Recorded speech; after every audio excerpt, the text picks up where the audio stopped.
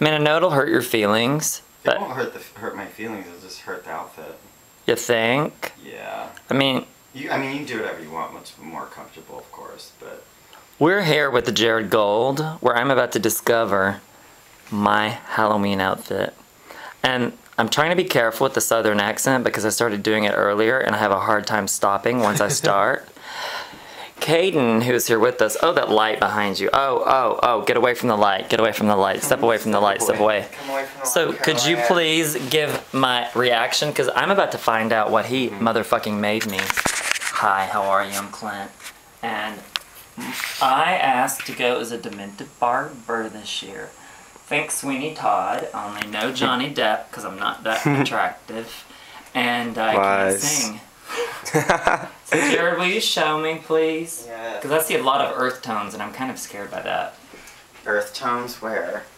The, the That- oh, suspenders and the that's- hat. That's my.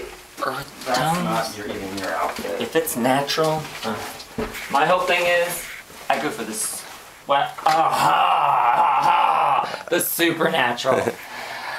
this logo was designed for me by Janelle, and Jared just happened to embroider it. And This so is better. This really is better than I anticipated. Wait, where are the blades? I need the blades. there's this is the utility belt. And that, so it has the strap. Okay, you haven't the seen the sub the subtle scissors heavy. Uh, They're very subtle. Yeah, they have You know, their I do they like- have their guard on. Them. I do like things that you know just kind of And then here's could this. circumcise someone without even getting up from my chair. while you're still driving by. Okay, that goes here, and this wraps around this. Well, way. shouldn't I put this on first? I just want to make Okay. sure you see how we did with the buttonholing. So cute. Look at this. Okay. Jared Gold is a genius. Yeah. Okay. So go gotta. I can take my belt off. Should I? Yeah. You will. I mean, eventually. Okay. I'm gonna leave that just where it is. okay. Here's this. Now this. Oh, this is. I had to get this dulled because you know we're talking. It's still kind of sharp, so you need talking to be about careful. me here. There is inside on the very inside here. There is a secret pocket to put this into into the belt in case. That means I could so all the way. Hopefully, There you go.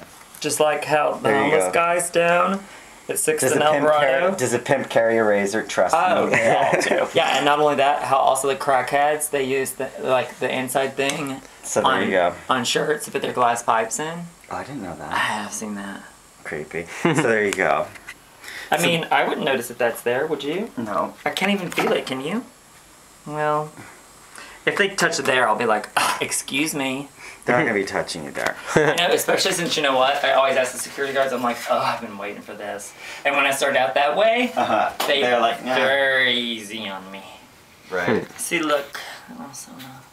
I put that on a little elastic for you. So This you is could- fucking amazing.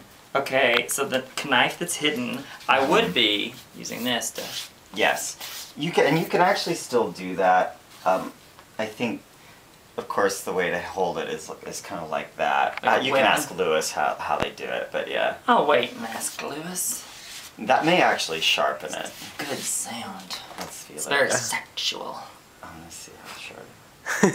It's pretty sharp still, Clint. You better be. I'm pretty sharp, so, So look out. this, um, as opposed to having the um, so the quote, you have to show the camera the little quote on your. It says, "The tongue, like a sharp knife, kills without drawing blood," which is basically That has nothing to do with my personality. He just Uh, came Of course across- not. He just came across that quote. so the um, the apron That's actually really, that's really odd. Oh, that's oh, they're actually shut your mouth with the detail. Do you see? It's- It's just all C's, interlocking C's.